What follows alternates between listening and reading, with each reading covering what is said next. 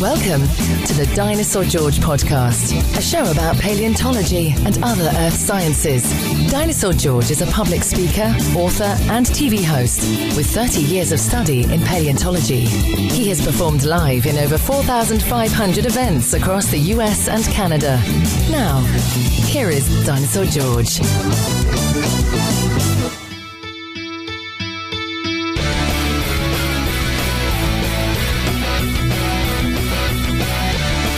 Hey, good morning, everybody. It is August the 8th, 2019. I am the Dinosaur George. Do you like the emphasis on the word the? This is episode 144. This one's going to be kind of fun, I think. Um, it it's the subject today is a simplistic explanation of the evolutionary process. I recently was at a, I did a small museum event at a, uh, museum down in Clute, Texas, a place called the Brazosport Museum of Natural History. Really, really cool little museum. You guys would be amazed at that thing. You know, one of the things that amazed me the first time I went there, I've been going there for years, is how many authentic fossils are on exhibit in that museum. It is pretty spectacular. I can tell you, it's a very small museum. Their real focus is on seashells. Uh, and by the way, Clute, Texas is kind of down along the Texas Gulf Coast. Um, near the town of Lake Jackson, I think is is bigger than Clute, I believe. But anyway, um, mostly what they have in there are seashells. They have a huge collection. I think the biggest collection of seashells, I believe they said west of the Mississippi River. So it's a big collection. But it's the exhibit of fossils that they have and fossil replicas. They've got both. They've got a complete Allosaurus in there, which is spectacular. So, anyway, I was down there doing a show. And while I was there, a young boy came up to me and told me that he didn't understand how evolution works. And it was, I understood what he's talking about because it is very confusing because evolution you know the actual idea of evolution is an odd thing because there's we can't point to things today to say, look, that thing is evolving because we don't evolution doesn't occur overnight. It's not an immediate thing. It takes a long time. Now, sometimes it can be accelerated, like during a, a say, a big environmental change. A lot of animals have to adapt relatively quickly, and if they don't, well, then they go extinct. So there, there's certainly some examples of animals adapting relatively quickly. But when I say relatively, I mean relative to the age of the Earth. Um, this is a long, steady process, and it doesn't necessarily mean that you can look at it and witness it today, even though it's happening around us. Uh, let me give you an, uh, for example, uh, give you an, an example. Um, raccoons. All right, raccoons are animals that shy away from humans. They have want to have nothing to do with us. They're animals that that are completely wild. They're not pets. They're not something, even though they look cute and cuddly go over and try to pick one up, and you'll find out. Uh, remember the Tasmanian Devil cartoon you saw when we were kids, and he would go into that looked like a tornado with just teeth and hands flying around. That's a raccoon. If you made the mistake of trying to pick one up, a wild one. So raccoons are an example of an animal that is slowly evolving to to act and behave differently. Now, it doesn't mean that its body design is changing uh, the evolutionary process can be the evolution of a changing um, a changing behavior. You can evolve and change your behavior, and you don't necessarily have to become some new animal to be uh, to be affected by evolution. So the evolution of raccoons, at least in the cities, these animals are becoming very, very different. They're behaving very differently. They've recognized humans as an excellent food source they don't need to go out and hunt for their food. They don't need to forage for their food. They found out that if they just show up to the garbage cans before the garbage man gets there, there's a smorgasbord of food available to them. And if this continues, and there's no reason why it won't, if this continues, what we're going to see is we're going to see raccoons.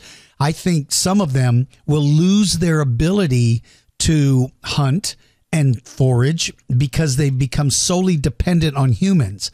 Some of them are becoming very friendly, and I say that in quotes.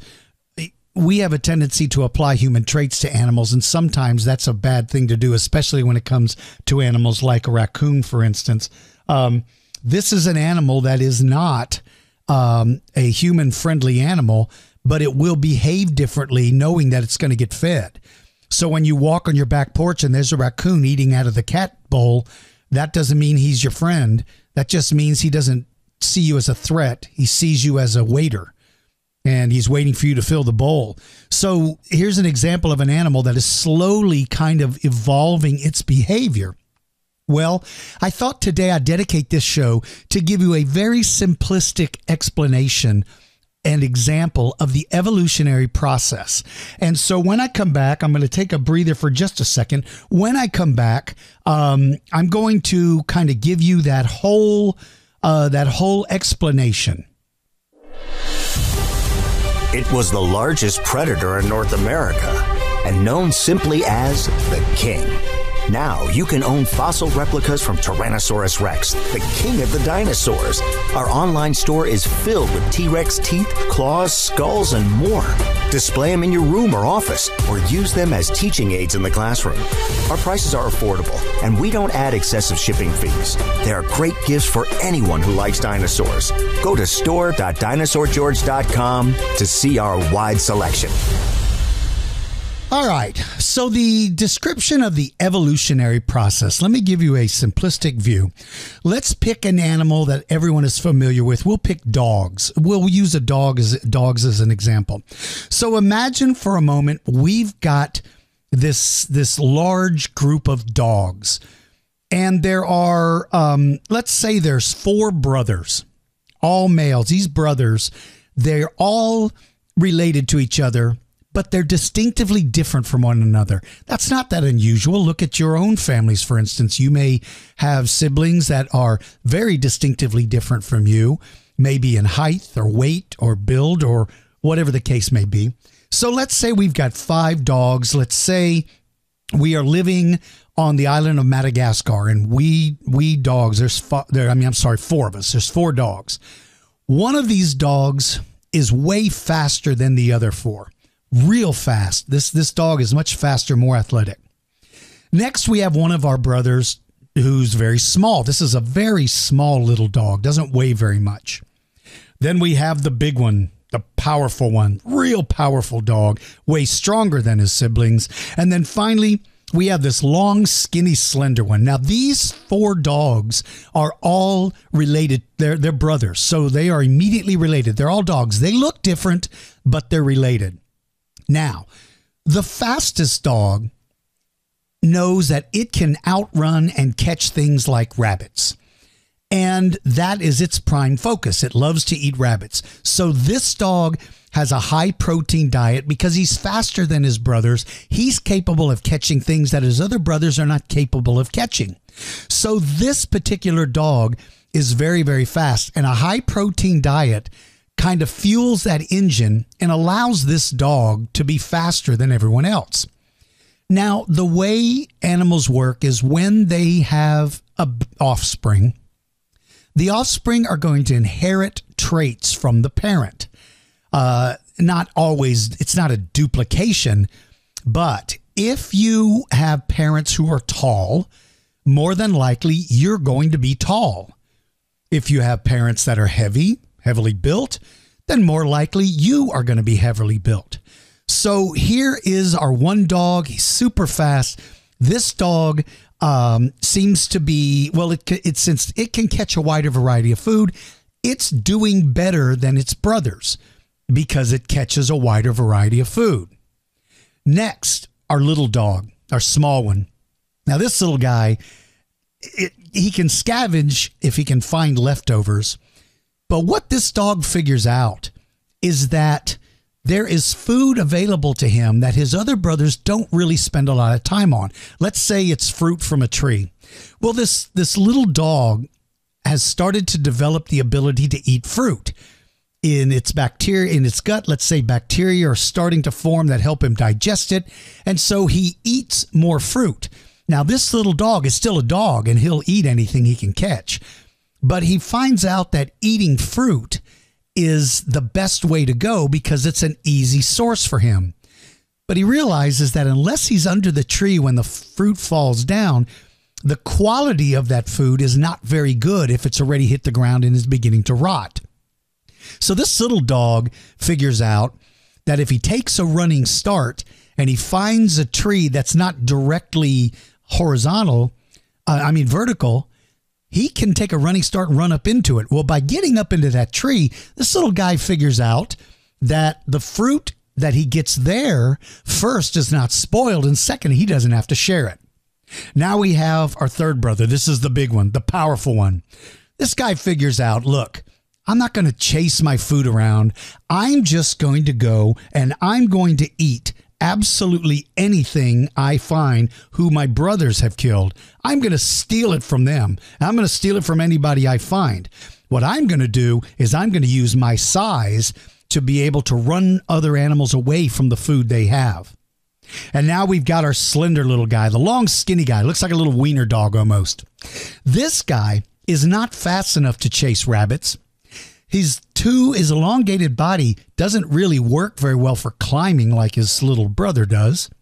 He's certainly not big enough to be able to steal food, but he finds out that that long, skinny body is perfect for being able to follow a rabbit into the hole. This little guy figures out, hey, I can go in where they take refuge and I can hunt them down. Okay, so we've got four dogs in our in our simplistic explanation of the evolutionary process. Four brothers very distinctly different from themselves. Now, remember I just said that animals will pass down certain traits to their offspring. So again, if you're tall and your parents, well, if your parents are both tall, chances are you're going to be tall. So what begins to happen is the fast dog is going to have offspring, and whoever out of his family is the fastest is going to be the healthiest out of his group, and therefore going to be more likely to find a mate who will find him attractive and who will be willing to breed. So if our fast dog has four babies and one of them is much faster than the other three, chances are the super fast one is going to be the one who's going to make it through adulthood and be able to have babies of his own. And he's then going to pass down that fast genetic buildup onto his babies. So, what you see happening now is each generation, the fastest of that group is going to have a better opportunity at survival and therefore going to be more likely to reach adulthood and therefore be more likely to find a mate and have babies. And once again, passing off that fast gene. The fastest of the fast in this group is the one that continues to produce uh, new babies. And the fastest of those babies are the ones that continue. So you see what you have is you have a dog that started off being faster than his four brothers. And after several generations, he's not a match for the speed of his great great grandchildren. They're way faster. Now, as they progress in speed, they change their diet. Rabbits aren't necessary. They're not worth the time to chase. Now you have a dog that is chasing deer or chasing um, uh, baby buffalo or chasing bigger animals because if they're going to expend energy to chase an animal, they definitely want to get something in return. And the bigger you are, the more food you have. So here we had a fast brother who has now created an entire lineage, a family of much, much faster dogs. Let's jump down to our little dog, the little tree climbing dog. Same situation if that dog has babies and one of the babies, let's say, has longer toenails, that baby can get a better grip to be able to climb easily into other trees. He doesn't have to find a tree that's bent over. He can simply run and climb a tree as fast as he can. Now, if your claws are a little longer, and let's say your arm strength is a little stronger, well, if you're one of the kids of this small tree climber, you're going to be the one who climbs the best is the one that has the best chance of survival and therefore passing his genes to the next generation. So we move down the chain about five or six generations, and suddenly we have very slender, small dogs who have very, very large claws that are capable of climbing up into trees. Now, our bully, the big, powerful dog, all he does is just gets bigger because he knows that becoming giant means he doesn't have to do any of the work. All he has to do is go under the tree where his little ancestors are crawling around up there eating fruit and hoping that they panic and maybe drop what they're eating so he gets to get the leftovers. He's also going to f- try to follow those fast dogs in an effort to watch them make a kill and then show up and chase them away and take their food. The bigger you are and the stronger you are in that particular family, the more likely you will reproduce and make even bigger, stronger offspring. And finally, we get to our slender guy. Now, with that dog, when it had offspring, the skinniest baby was the one that was capable of going into any burrow. It didn't just mean rabbits anymore. This little guy could chase mice. This little guy could go anywhere.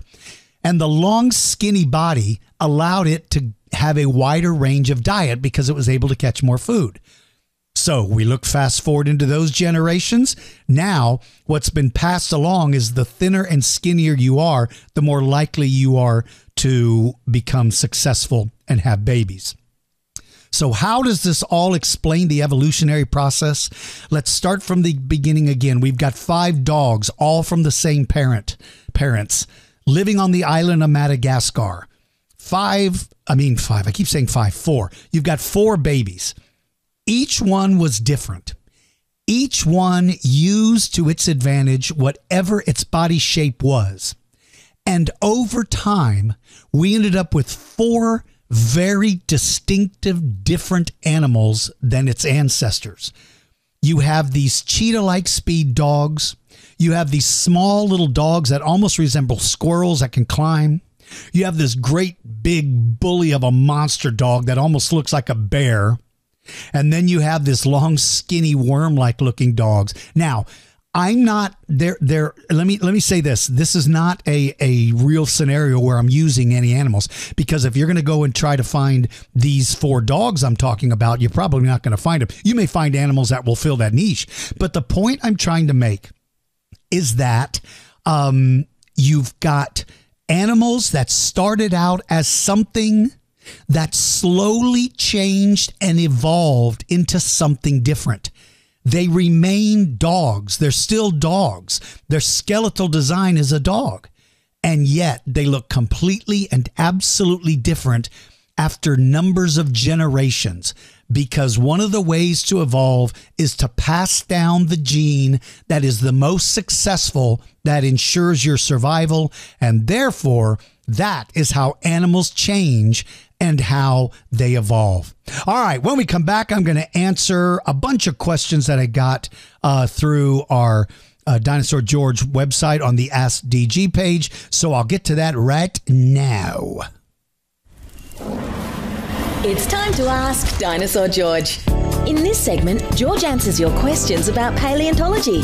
If you would like to leave a voice message, call us at 210 888 9077. This is not a toll free call, so children, please ask your parents' permission. If you would like to submit your question in writing, go to dinosaurgeorge.com and click the Ask Dinosaur George page. Questions are chosen at random and we clear all messages monthly.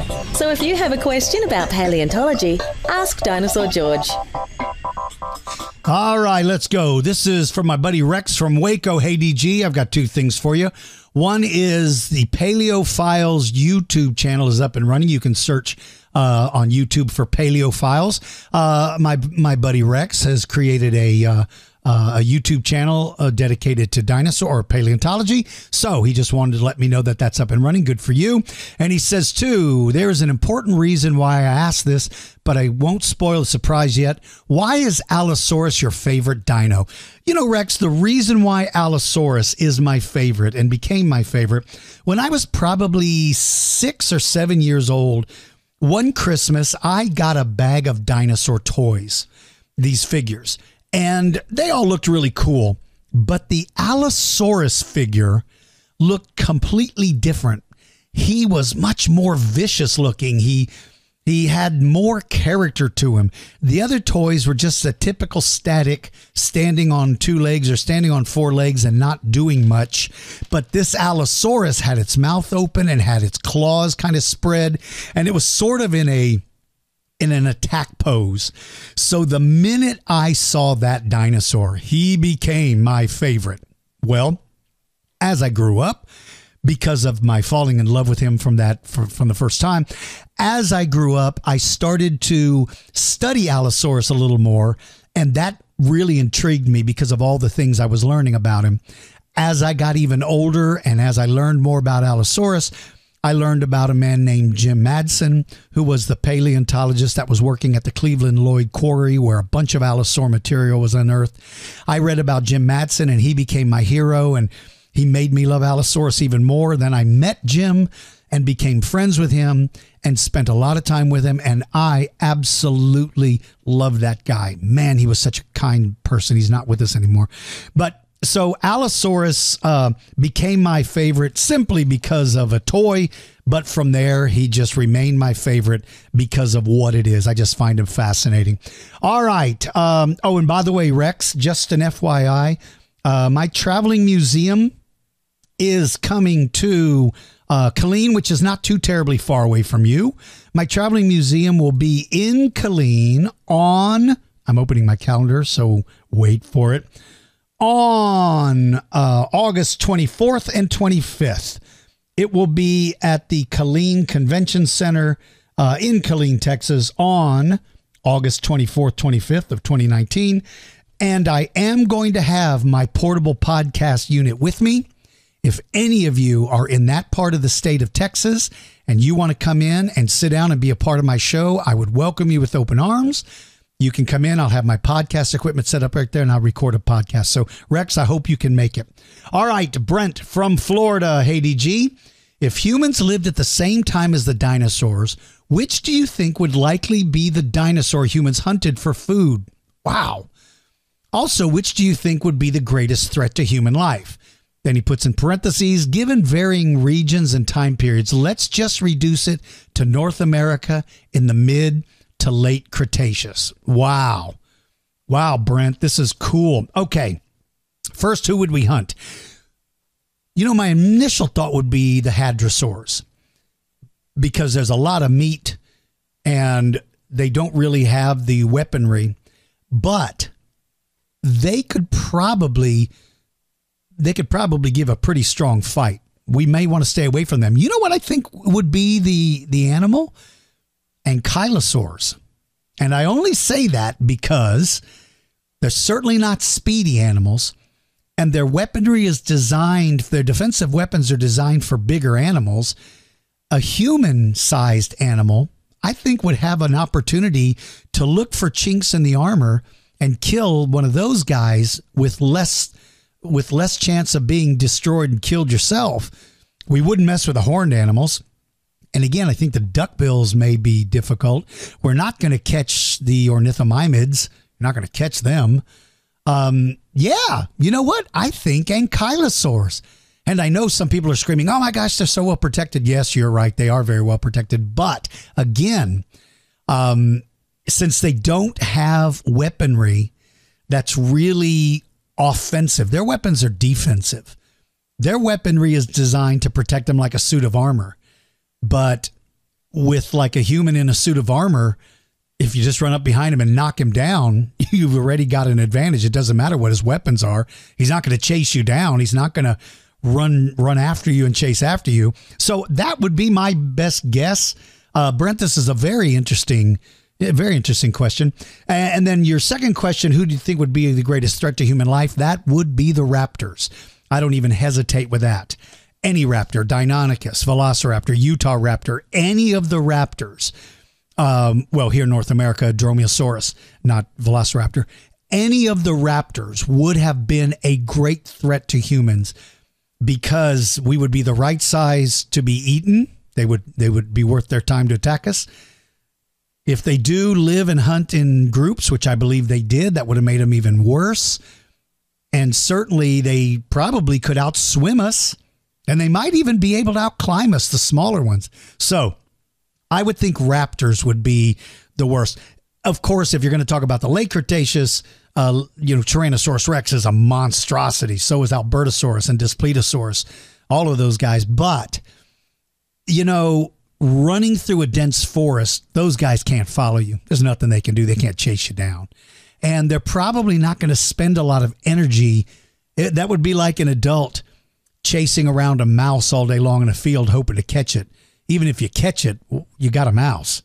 So I don't. I would exclude the big carnivores, and I would absolutely look at the raptors as being the biggest threat. Brent, thank you so much. Uh, hope everything is well in Florida. Love your uh, love your state. All right, Henry from Texas. Uh, how much food can an Allosaurus eat in a day? Wow, that's a great question, Henry. How much food could an Allosaurus eat in a day? You know, the amount of intake is determined by your metabolism when you're talking about days. Like, for instance, an anaconda can eat a pig and not have to eat again for, you know, another five months, maybe a year. So the question would be how much could they eat in a day? Well, they could eat 500 pounds in a day, but only one day and then nothing for the rest of the year. With Allosaurus, uh, he's certainly burning through calories faster than a snake and so Allosaurus would need to eat more often, but let's say he's going to gorge himself and he's just not going to do anything but eat as much as he can in one day. Let's say he finds a sauropod. Well, he's, he's found the buffet table. Based on the size of the rib cage and the estimated size of the stomach, my best guess would be that it could probably eat about 400 pounds of meat in a day. Now, that doesn't mean he could eat that much every day because he would certainly take some time for that to to digest. But I'm just going to say, Henry, that for him, we're going to say 400 pounds would be my best guess. All right. Henry also said, What was the first movie you made? Well, the very first video that I ever made was called Dinosaur George's Guide to Prehistoric Life. This was probably about 12, maybe 15 years ago. No, gosh, I bet it's longer than that. No, maybe so. About 10 to 12, no, 12, 15 years ago, I guess. Something like that. That was the first DVD I ever made. I think you can still find it in libraries. It's not in print anymore, but but um, that was my first movie. And then uh, this looks like from Henry's uh, mom or dad. Henry really enjoyed seeing you at Our Lady of Perpetual Health. Um, or was it Our Lady of Perpetual Health? It was a, a, summer camp I went to. I just remember she just used or he just used the letters O L P H, but I can't remember if it's hope. Maybe it's Perpetual Hope. Um, what, sorry to butcher that, but anyway, uh, I went there as a summer camp. He said we have watched the DVD he bought about five times in one day. Oh, that's so cool! Henry, thank you very much. The DVD you bought was either my Guide to T Rex, Guide to Allosaurus, or Guide to Triceratops, and I'm glad you enjoyed it. I'm glad you watched it, and I hope you learned something. And since your question was about Allosaurus, then I'm going to assume that what you bought was my Guide to Allosaurus. Henry, that is very, very kind of you to write. I'm glad you liked the movie, and please tell your parent, whoever wrote for you or wrote or made the attachment, tell them I said hello. All right, Jeffrey from Fremont, California. Hello, Dinosaur George. How could the short faced bear go extinct if they were omnivores? Wouldn't their prey still be alive today? Oh, what a great question, Jeffrey. The extinction of an animal is not always linked directly to its food source. That's not always. It certainly has a lot to do with it. But the extinction of an animal can be so many other things, Jeffrey. It can be disease, a disease that only affects that species, and that happens a lot in nature. It can be being out uh, outgunned by newer, more advanced predators. It can be climate. It can be that let's say let's say that the short faced bear um, hibernated three months out of the year. And let's say that the weather changed and winter stayed around another two weeks on average, longer than before. And so our short faced bear emerges from hibernation and it's got two more weeks of nothing but dense snow. It's expending a lot of its energy looking for food that doesn't exist yet had it emerged when uh, fall or, or um, uh, spring was coming on and there was a ready food source, that would be fine. But emerging when there's not a ready food source means you're burning off calories that you cannot replace. And by not being able to replace the calories, you already make yourself success, successible. Uh, my gosh, I can't believe I can't say this word. Success. You're more likely to get a disease. Good grief, man. Okay, it's early. Uh, susceptible. Wow. Thank you. Thank you. He held up a sign in front of me that said sus- susceptible. Wow. Okay. So, just a slight change in the environment means you're more likely to get disease. Um, you're less likely to survive those two weeks. Well, if that happens over and over and over again with these animals and they don't have the ability to adapt, that can cause the extinction of that one species. And yet, other animals living with it don't have the same problems. Those are ways that one can go extinct. So even though your food source is there, Jeffrey, it doesn't always mean that it gives you the ability to survive. All right, Gabriel from Ohio. Do you think Smilodons and American lions were dominant over dire wolves? Man, you guys have a lot of cool questions. This is cool. Yes, I do. I do think Smilodon and the American lions would have been alpha predators and the dire wolves would have been in line directly below them. But dire wolves have that one thing that makes them very effective, and that is their ability to hunt together in a pack. So whether or not Smilodons or the American lions were able to maintain that dominance over generation after generation, I don't know the answer to that, Gabriel. You know, as as I, I in the first part of my show, I described how animals evolve wolves, dire wolves, may have been evolving because you look today, uh, neither Smilodon or the big American lion survived in North America, but the wolves did. So at some point in time, dire wolves or their their immediate ancestors clearly survived beyond the age of Smilodon and the American lion. So I would say that during the majority of their existence, because of their size and the fact that cats are pretty smart too, I believe that they would have been dominant, but probably would have yielded to big groups of dire wolves. And there's no evidence to support that American lions and smilodons hunted in groups. Uh, but there is good evidence to support dire wolves do uh, because of the accumulation of fossils found in a given area. Doesn't always mean that they died at the same time and they were living together, but it's a good suggestion. And then looking at um, looking at wolves today, they are pack hunting animals, and that's something that was probably passed down through the generations. So yeah, for a while, Gabriel, I think they did, but over time, clearly the wolves per- continued on, and that would have made them dominant at some point in time.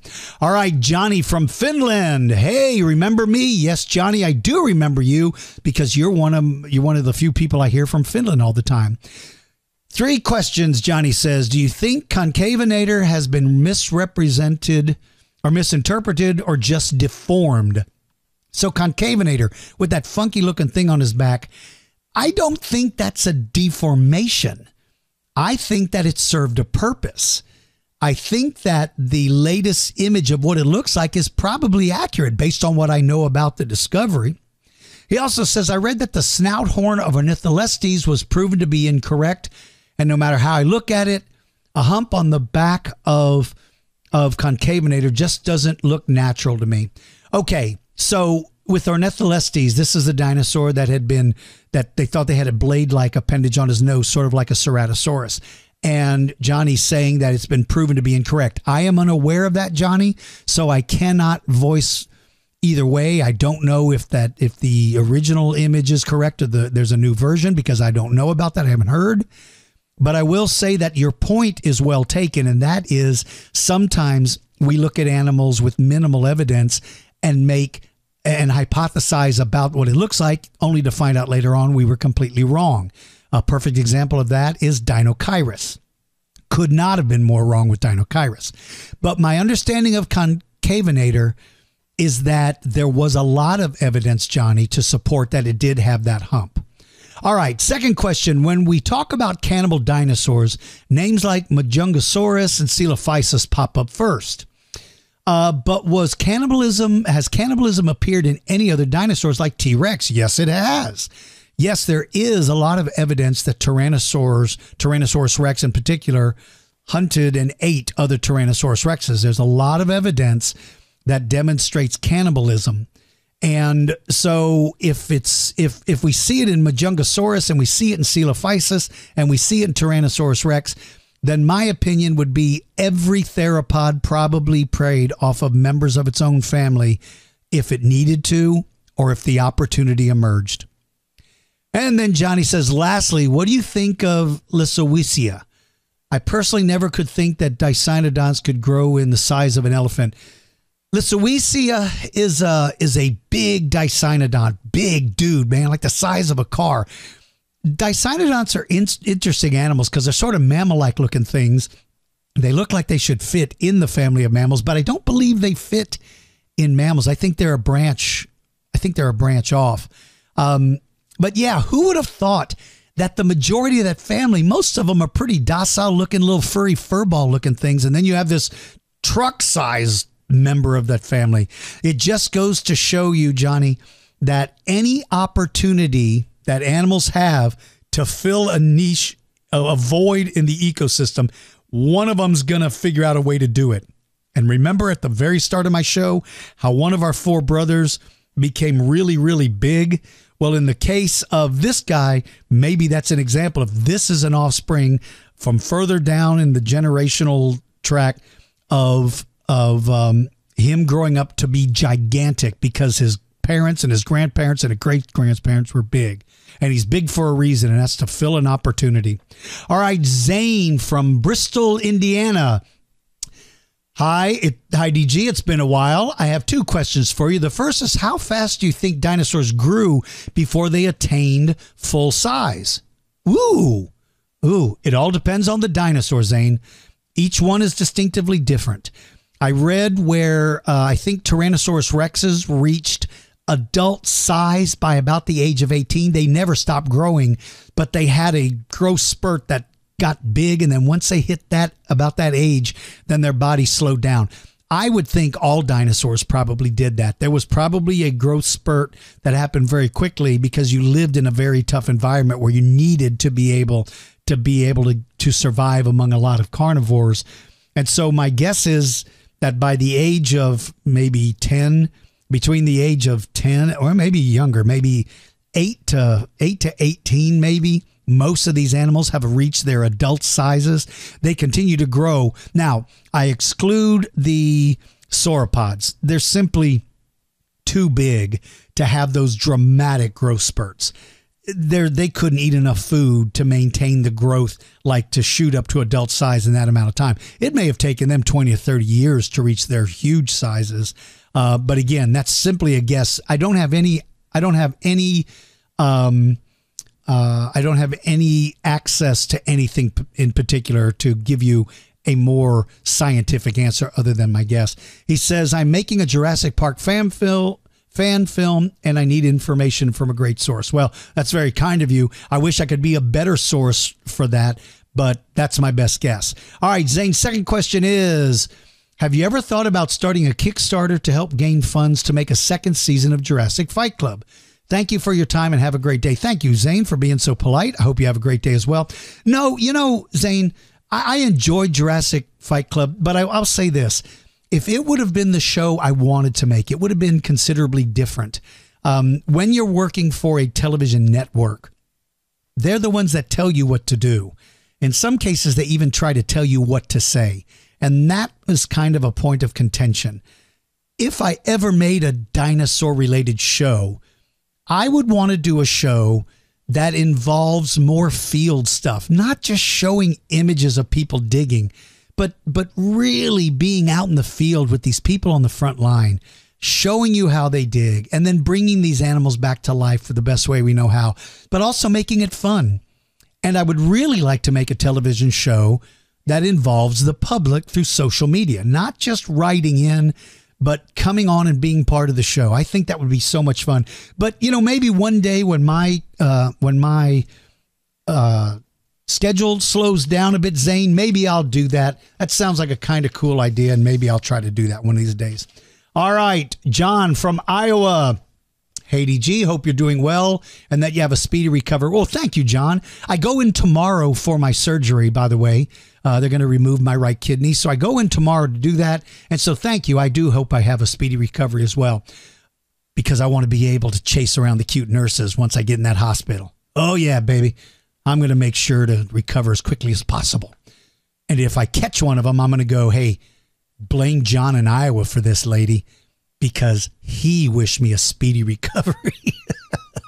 All right. My questions are on Sarcosuchus and their behavior towards other animals and others of their own kind as well.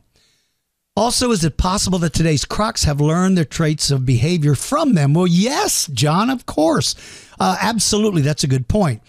Again, animals pass down not only their traits, but also behaviors, the way they behave, hunting methods.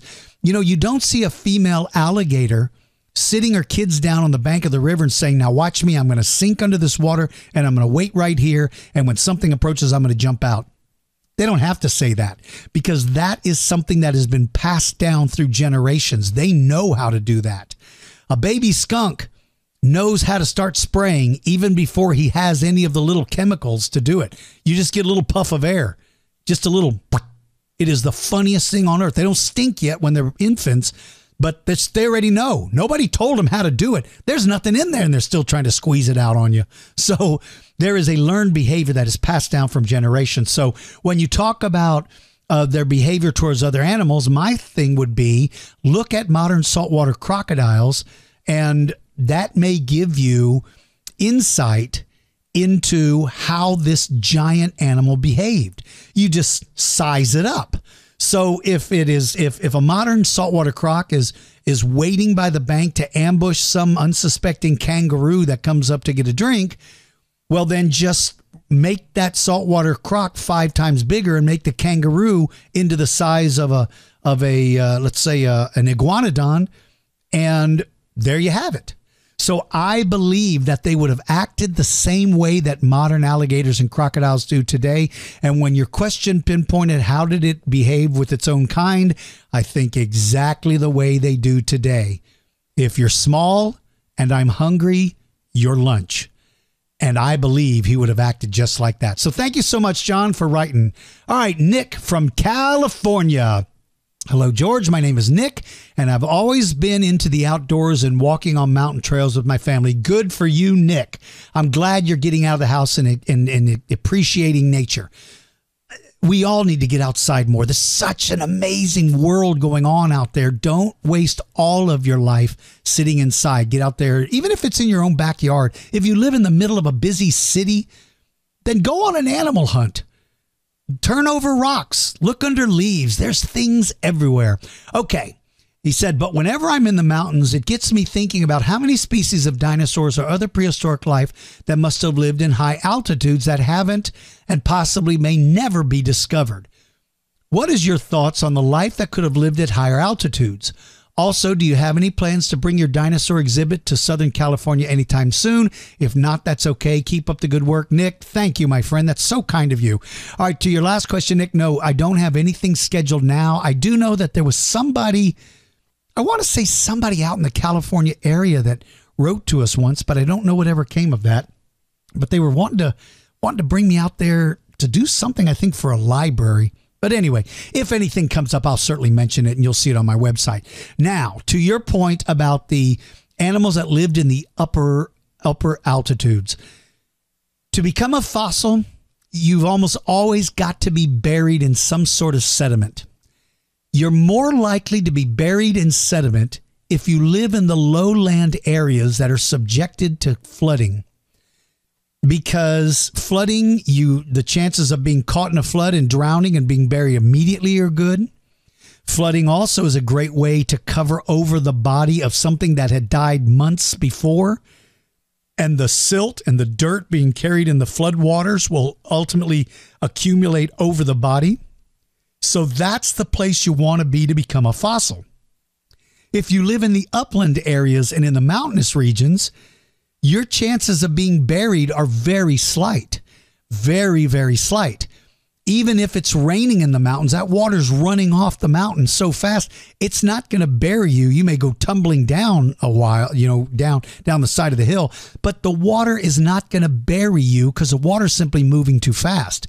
When it's in a lowland area, the water begins to back up and makes almost a lake like environment. That's how you become buried. So, to your point, Nick, if you lived in the upland areas, the chances of you being fossilized are greatly diminished. And therefore, we know practically nothing about some of those animals. Who knows what would have lived in? Think of the odd dinosaurs that could have lived in mountainous regions. How weird could they have looked?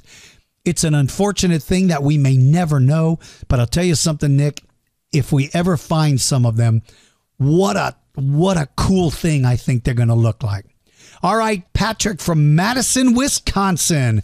Would Triceratops have looped horns like a modern day bovids, or would Triceratops sharpen their horns on trees like modern day rhinos? Thank you for answering this question and have a great day. Well, okay. Um, their horns their their horns are covered with keratin. So keratin is like our fingernails, same thing that covers the claws of animals like cats. And cats and bears and lions are constantly raking their claws against trees to be able to keep them sharp and honed. Triceratops may have done the same kind of thing with its horns, you know, rubbing them on a tree to keep them, uh, maybe that that kept them polished animals like cows. No, let me let me go back and rethink this. My family has raised cows our entire lives. I do not remember a single time where I ever saw a cow ever saw a cow rubbing their horns on anything. I don't think I've ever seen an antelope. Now I see we see uh, bucks, male deer do that, but they're not I don't think they're sharpening the horns. They only do that to rub the velvet off of their horns, but their horns are different from the horn of a triceratops. They're only rubbing those horns to get the velvet that that covering off of them. So, but that's not they're not sharpening those horns. That is to get the velvet off. So I'm going to go back and say no. I don't believe that Triceratops would have sharpened its horns. I think they would have stayed that way natural through the growth of the keratin. So I'm changing my mind right in the middle of my sentence, Mr. Patrick. I don't believe they did that. Um, it's an interesting question, though. It's kind of cool question, but I, I don't think they would have done that. All right, Craig from California. Uh, I tell you guys what, I'm going to take just a brief timeout. I'm going to grab me a drink. Uh, so I'm going to just play a little short commercial real quick. And then uh, uh when I come back, I'll finish a few more. Hang in with me. Bring Dinosaur George's traveling exhibit to your school, museum, or city. This is the largest exhibit of its kind in North America and will turn any facility into a natural history museum. You'll see things like prehistoric mammals, giant fish, ancient reptiles, and of course, dinosaurs. It's affordable, amazing, and will be an event you'll never forget. See complete details at dinosaurgeorge.com or call us toll free 888 487 7478. Bring Dinosaur George's Traveling Museum to your community today. All right, so we'll finish with this. This is Craig from California said, "Hey, Mr. DG, big fan. Thank you, Craig. I appreciate it. Do you think that the similarities in the top jaw notch, notch of Spinosaurids like Baryonyx and early Ceratosaurids like Dilophosaurus is an example of convergent evolution? If so, could the known diet of baryonyx shed light on the feeding behaviors of Dilophosaurus? What a great question, man. Okay, for those of you that may not know, if you look at a picture of Dilophosaurus or Spinosaurus, you'll see that it's got that funky notch at the end of its snout. It's it's between the maxilla and the premaxilla. It's a it's a it's a hook. Uh, modern crocodiles, some crocodilians have that same feature. It's the weirdest thing.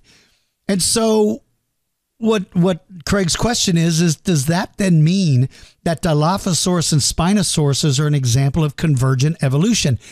Convergent evolution is where two different animals evolve similar features that are often used to help them feed or survive. So, for instance, uh, Brachiosaurus and giraffe. These two distinctively different animals, separated by a tremendous amount of time, both evolved that long neck as a way to reach trees. So now, convergent often means that they're living together at the same time, but I'm using giraffe and Brachiosaurus because it's the most visual thing I can think of off the top of my head. Two distinctively different animals that both have similarities because those similarities allow it to survive or make it more likely that it survives in its environment. So, was that hooked nose of Spinosaurus and Baryonyx and Suchomimus, those guys, did Dilophosaurus develop the same thing for the same reason? You know, I one time read, um, or read, I one time had an opportunity to sit with Dr. Robert Bakker. He and I were in Pennsylvania looking at a baby T Rex skeleton of all things. And we had an early morning where we got to go sit out by this fish pond and we talked for almost two hours. Best, oh, it was great. And we talked about Dilophosaurus, and he always felt that Dilophosaurus was aquatic. He felt that Dilophosaurus was an aquatic, not not fully aquatic, but he was talking about that, and that was that was 15 years ago. He was talking about them being more aquatic. Well, if in fact that notched nose is is effective for crocodiles, and it's effective for spinosaurids because we know based on evidence that Spinosaurus ate fish if we find that in association with that hooked beak, then it would perhaps add credibility to Dilophosaurus being a fish eater. Maybe that hooked beak. And also one other one, you know, who else shares that is Dimetrodon. Dimetrodon shares that hooked beak, and now more evidence is suggesting he was semi aquatic. So all of those things together would lend me to believe, Craig, that yes, Dilophosaurus is probably feeding like baryonyx and like Spinosaurid, they are eating fish. All right, John from Iowa. Hey, DG, I'm a longtime listener and a big fan, big time fan. Hey, good man. He says I have two questions about Sarcosuchus. The first is how big did they get? Um, wow, you guys are you guys are hitting the hitting the home run with all these aquatic dudes this time. Um, how big did Sarcosuchus get? I don't know, John. I've seen, excuse me, I've seen so many estimates that range that are off by 10, 12, 13 feet at a time. I just don't know what the what the most accepted size is. I know he's big, and maybe is it is it 40 feet, 42 feet, something like that is the last thing I read or saw. I don't know, man, but I know he's big. Second question is did they feed on young Spinosaurids? John, I think they would have fed on absolutely anything that walked into the water. I think they would have taken on practically anything. But I believe that they were specialized, I think, in order to hunt. They probably had to sit in relatively deep water, deep enough to hide their body in the hopes that dinosaurs wandered out into the water to drink. A lot of animals don't like to drink from the shore. They like to walk out into the water. Cows, bovines, a lot of those animals do that. Water buffalo. They don't just want to get a drink from the shore. They want to walk out into the water that's up to their chest. So I suspect that big crocodilian like animals like Sarcosuchus would have behaved the exact same way. I think they would have waited in deeper water, and that meant that they're eating bigger animals because the the small ones wouldn't have been able to go out in deep enough water to where Sarcosuchus could have hit his body. So I think they're actually specialized in eating adult animals, but they absolutely would have. All right, Dino Geek from Calcutta, Indian. Hello, Mr. Blasing. Hope you are good in good health. Well, thank you, my friend Dino Geek. And how are things in Calcutta, India? I would love to come visit one day. He said, I would like to know if Megalodon can exceed 60 feet in length. My next question is who would win in a fight between Megalodon and Leviathan? Uh, both of these titanic apex predators swam in the same waters at the same time and hunted the same food. And so fights would have definitely broken out. Okay. Uh, I agree. Okay. First of all, can they exceed 60 feet in length? One of the benefits of being in the water is that the water supports your mass and it means you can grow much bigger than land animals.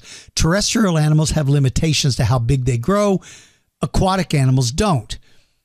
What I believe is that we keep finding meg teeth and some of them are getting bigger and bigger. Six inches i think maybe seven. I don't even know if they go that big but i know they get close.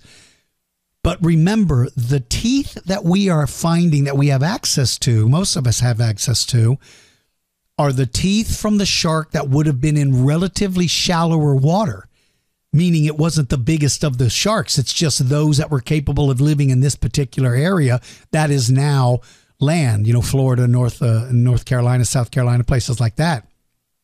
The ocean the deepest part of the ocean wasn't even near where we're finding these meg teeth. So could there have been much bigger megs out there? I believe there were. I think they were. And I think their only limitation to size was their food source.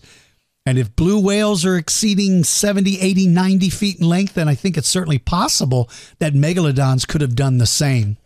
Um, and now, as for who would win in a fight between megalodon and that giant whale, that leviathan, um, Megalodon has an advantage as, as, in that he doesn't have to come up for air.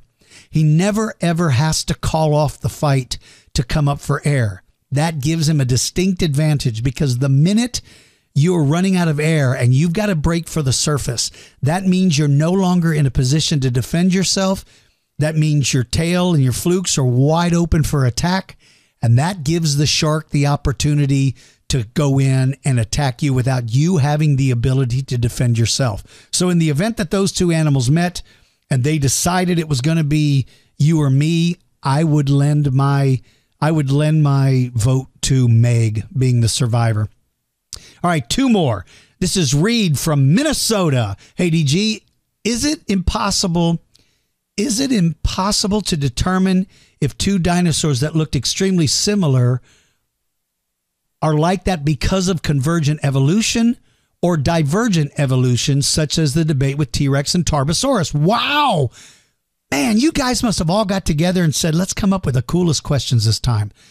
Okay, convergent evolution is the evolution of two animals, different, like I just explained, uh, two animals that show up looking similar but are distinctively different animals. Divergent evolution can be you have animals that are branching off of another one and slowly changing into something else. So T Rex and Tarbosaurus, these two dinosaurs are closely enough related to both be tyrannosaurs. In fact, I think Tarbosaurus's name was or was going to be changed to Tyrannosaurus bataar, I believe. I believe that's the case. Um, it it depends, but there are ways to see that very quickly in the fossil record Reed, and that would be at its skeletal design if you have two animals, and we'll go back to my giraffe and my brachiosaurus analogy, distinctively different skeletons. You can look and go, these animals have nothing to do with each other. They got a long neck. That's it. But with animals that have devolved from other animals, they're still going to carry enough of the characteristics for you to be able to say that animal is related to this animal. So looks can be deceiving, but once you get in there and start looking at the skeletal design, then Reed, you're able to determine which of the two would be the case. And finally, Dave from Missouri. Who do you think would win between an Acrocanthosaurus and a Spinosaurus? Since Acrocanthosaurus might have had a stronger bite than Spinosaurus did and was perhaps the more heavyweight of the two, but yet Spinosaurus was a lot more advanced since it evolved quite a ways later. Um, wow. P.S. Hope you're well. Well, Dave, thank you very much for that. I appreciate that very much. Okay. So you take two animals from two different time periods and you throw them together and you go, have at it. Well, the only thing you can do in a situation like that is make your best guess.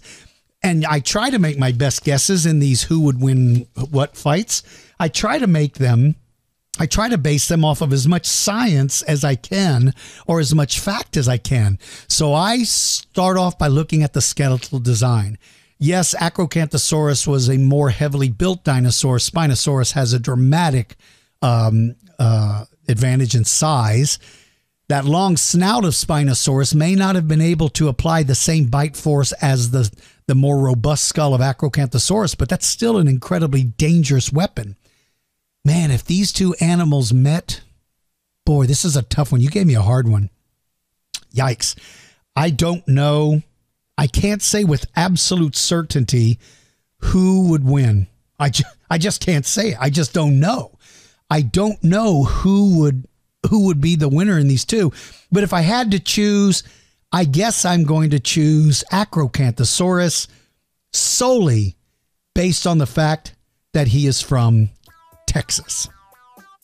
Boy, how's that for science? All right, listen, you guys, I hope you've enjoyed this one.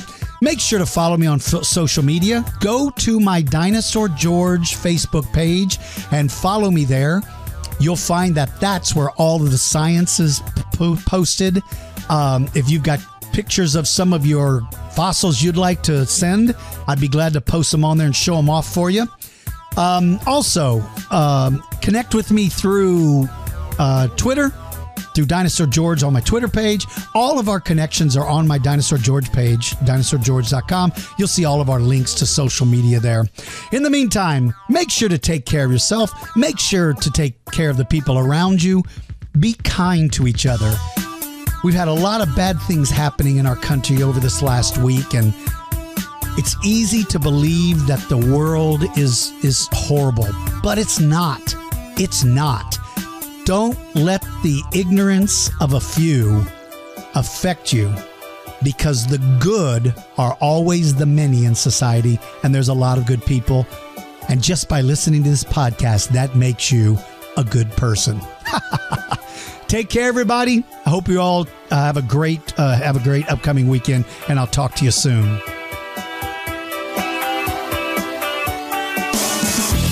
Thank you for listening to the Dinosaur George Show. Please follow us on our social media links and join our mailing list. If you're interested in having Dinosaur George speak at your event, please visit our website at dinosaurgeorge.com. Until next time, keep digging for clues about the past.